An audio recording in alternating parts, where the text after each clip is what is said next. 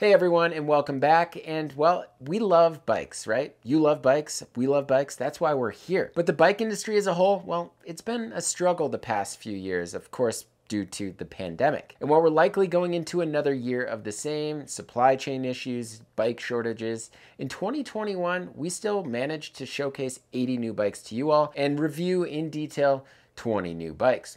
So in this video, we're gonna showcase our six favorite bikes from 2021. We're also gonna share with you the top three bikes that were voted on by collective members, as well as touch on a variety of bikes that we're super excited about for 2022. Let's do it.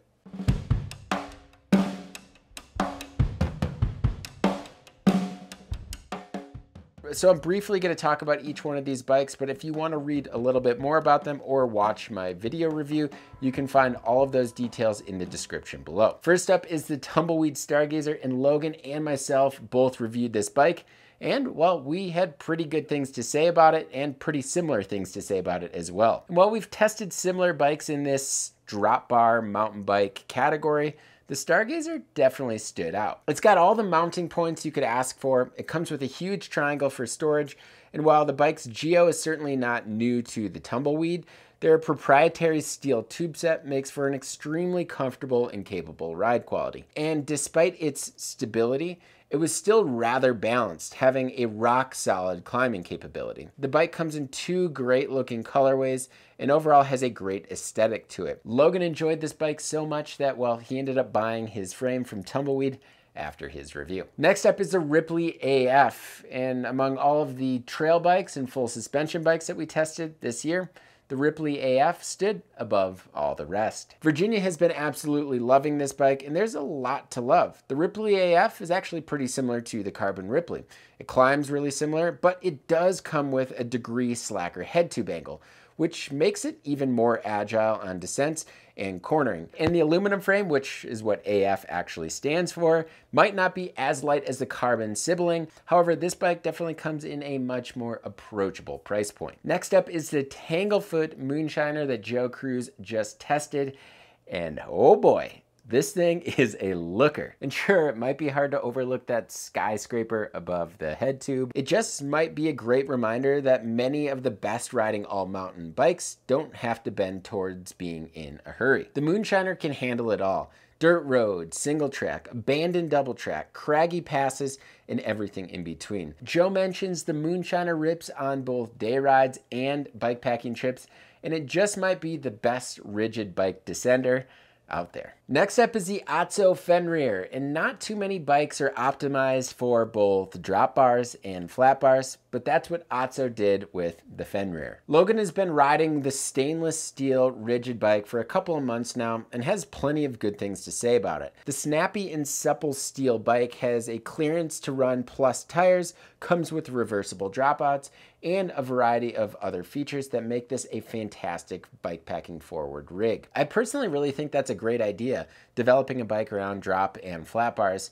But what do you all think? Would you get a bike like this so that you can swap out stems and bars to change its riding characteristics? Next up is the Salsa Cycles Timberjack. And yes, this bike made our list last year, but it got a complete overhaul and one for the better. The much improved geometry is built around a longer front center, making it a much more sure-footed descender while not taking away too much of its climbing capabilities. The aluminum frame has a really nice ride quality and it feels even better loaded down. The bike also comes with Salsa's Alternator Dropout 2.0. The Timberjack not only comes in a variety of great looking colorways, but they also maintained a great value throughout their build kits. I don't know about you, but I feel like the best bike for getting into bike packing is an aluminum hardtail. And making sure it's at an approachable price point is important. And I think Salsa did that. But what do y'all think? What's the best entry level type bike out there? I'm curious to hear your thoughts. Let us know below. The most road oriented bike in our 2021 top bikes definitely belongs to the Fairlight Faran 2.0. And despite the 77 millimeter bottom bracket drop, the bike still begs to be pedaled off-road, thanks to the plush and responsive tube set.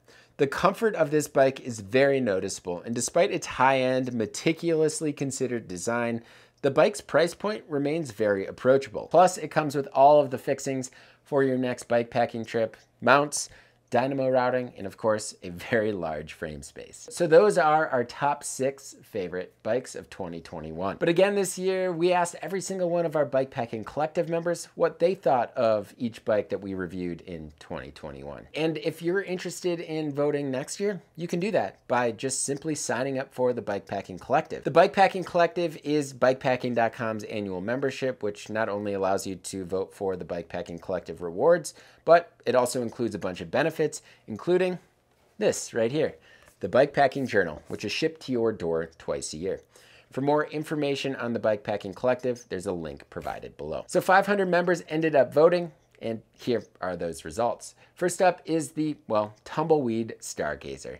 That seems to fit the mold of this year. That bike is truly amazing, and well, the people have spoken. Next up was the Kona Sutra ULTD, and I tested that bike this year, and I actually had quite a bit of fun on it. The ULTD is similar to the former Sutra LTD, but now has internal dropper routing and slight geo changes that give the bike an even more mountain bike feel. Still, it's a versatile bike that can do everything from carving up your local single track to tackling multi-day mixed terrain bikepacking expeditions and well, much more. And last was the Y Cycles El Jefe. And this is a bikepacking specific pro model from Y Cycles that was built in collaboration with Jefe Branham, who of course is known for setting records on the Colorado Trail as well as the Arizona Trail. The bike is made for going fast, pedaling efficiently, and keeping pace, but it's a backcountry hardtail at heart and it's a really good one at that. Of the many bikes that are going to hit the market in 2022, or so we hope, here are six of the most interesting bikes for some reason or another. The 29er Chromag Surface Voyager, which was the Chromag Surface, was completely redesigned and wow, does it look fun. Not only does it come with some very aggressive geometry, but it also comes with some bikepacking centric features, including external cable routing, horizontal sliding dropouts, plenty of mounts in the frame, and on the top tube and rear rack mounts. And maybe one of the coolest things is, well, it comes in five sizes, and one of those sizes is a medium large. Similar to that Tumbleweed Stargazer Extra Medium, this is really awesome because for me, I feel like I always fall in between a medium and large.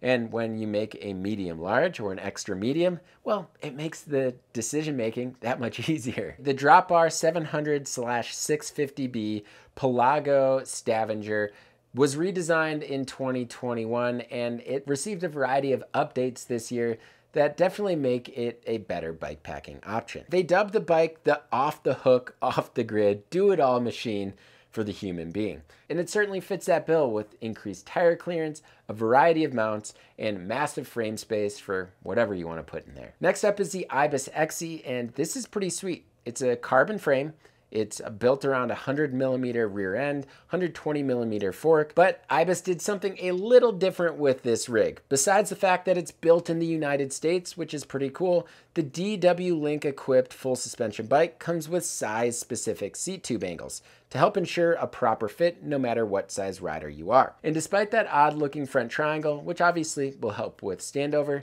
each size fits two water bottles within the frame. So for folks like me that really just love long day rides, having two water bottles inside the frame and none on your back is a win. 29 plus is not dead. And perhaps the Stayer Groadinger OMG is just what we needed in our lives. I'm sure many of you saw my video of is 29 plus dead? I did that video because there was a variety of bike brands that said goodbye, three inch tires. Goodbye, three inch tire clearance. But the Groadinger OMG allows plus bike enthusiasts to rejoice. The new made to order steel hardtail is built around no suspension and 3 inch tires, be it 29 by 3, 27.5 by 3, or 26 by 3. And the customizable geometry is pretty rad, especially for an 8 to 12 week lead time. The Mason Raw, another steel hardtail, got extensive feedback from the Mason team and also ultra endurance athletes Josh Ibbett and Angus Young. Mason says the bike is modern and progressive, which to me means there's no tiptoeing down any chunky terrain which obviously is a good thing. And we love that idea in a bike packing bike, especially when it's loaded down. We can't wait to get on one. Just recently launched a few months ago, the Rocky Mountain Element. got a complete redesign. And the minute I saw it, I was like, wow, look at all that frame space. But in reality, once I dug deeper, I looked at it and the biggest change is four degrees of head tube angle. It became four degrees slacker, which for a cross country bike is a lot. The Element, while still dubbed an XC bike, seems to be leaning a bit closer towards the trail category with these new geometry tweaks, which kind of excites me, not only for those day rides, but definitely for more sure-footed bike packing. And bikes built around, say, 120 millimeters of rear travel and 130 or 140 millimeters of front travel are truly the best capable bike out there. If you're looking for a bike that can travel long distances, handle the climbs just fine, and not take away any descending capabilities, that's it. So I'm truly hopeful that we can test out the Rocky Mountain Element for you because it looks fantastic. So that about does it. So I want to hear from you all. What bikes looked great in 2021? And what bikes are you keeping a close eye on for 2022? Leave a comment in the comment section below. As always, thank you all so much for watching, and until next time, pedal further.